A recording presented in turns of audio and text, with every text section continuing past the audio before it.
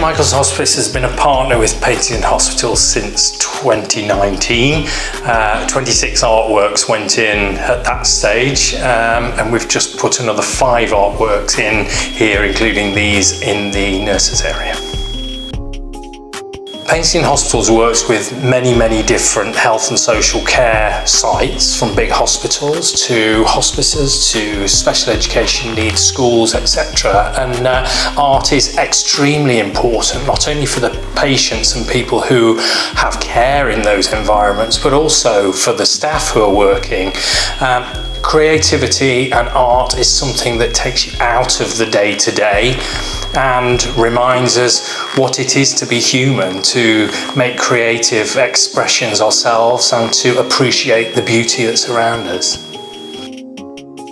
Everything we do at Paintings in Hospitals, we employ a co-curatorial method where we include as many people as we possibly can in the selection of artworks. And it was really delightful here at St Michael's Hospice to find staff really identifying completely with Anita Klein's wonderful work, which tells such a fantastic story of personal care from family love to um, medical uh, environments and the hospice environment. Uh, so really to respond to that so, so clearly and so eloquently it's been really special.